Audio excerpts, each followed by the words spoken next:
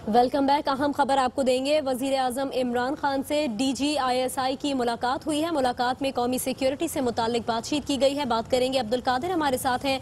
अब्दुल कादिर, क्या डिटेल्स हैं? देखिए, कौमी सलामती से मुतल ये इंतहाई अहम मुलाकात है जो वजी अजम इमरान खान से अब से कुछ देर पहले D G I S I lieutenant general Faiz Hameed से हुई है। ये मुलाकात वजी अजम हाउस में हुई, जिसमें कौमी सिक्योरिटी से मुतल अमूर हैं, उन पर तबादला ख्याल किया गया है। पाकिस्तान और खत्े की जो मजबूरी सूरत हाल है, उसमें एजेंसी के मौसर किरदार पर तफसीली बातचीत हुई है। मुलाकात अब खत्म हो चुकी है।